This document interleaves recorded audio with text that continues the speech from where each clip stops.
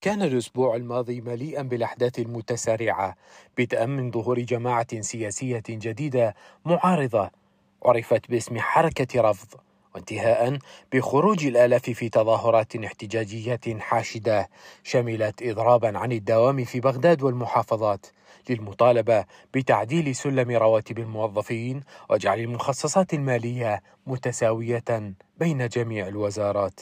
وأطلقت حركة رفض من قبل مجموعة من النشطاء والشباب وخلال أقل من 24 ساعة انضم إليها المئات من أنصار التيار الصدري. ويقول القائمون عليها إنها تهدف لإنهاء سيطرة أحزاب الفساد على مقدرات البلاد وأيضا إنهاء التفرد بالسلطة.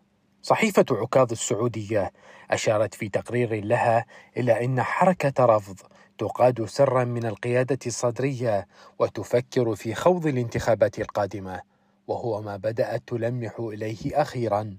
وربطت الصحيفة ظهور الجماعة السياسية الجديدة بالتزامن مع عزم مقتدى الصدر حصر أعداد مناصريه من خلال إعلانه عما يسمى وثيقة الدم التي كتبت بخط يد الصدر نفسه.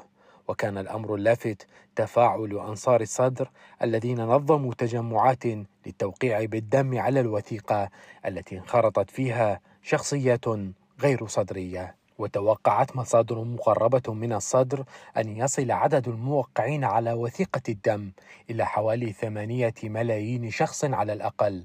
واعتبرت أن طرح هذه الوثيقة يهدف إلى إعادة بنية التيار الصدري حتى يكون جاهزا لأية فعاليات سياسية أو احتجاجية قادمة.